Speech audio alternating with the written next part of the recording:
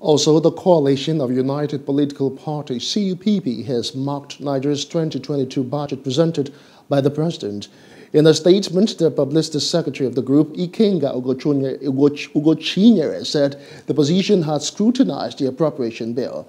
The spokesman noted that though the budget would be Buhari's last full-year budget, the president failed to take steps to include items that could make him leave office with some element of pride.